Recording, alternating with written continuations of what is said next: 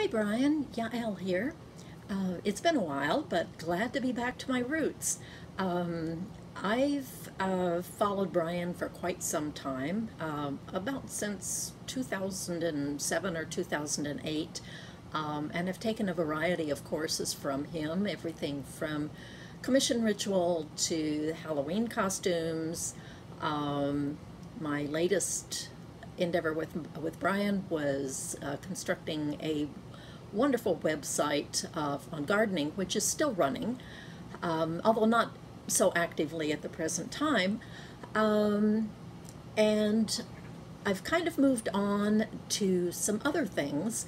Uh, currently publishing um, a couple of coloring books that are on Amazon, and I'd like to step up my game on marketing and that is one of my goals for taking this course uh, or taking this uh, challenge um, is to be able to utilize um, uh, some of the video techniques a little bit more effectively. And um, that's why I'm going to be involved. Uh, I don't know that I'm going to be publishing uh, a video every day, but um, at least um, twice, once or twice a week, I would like to, to shoot for, um, and see where I go from there and learn as much as I can from Brian.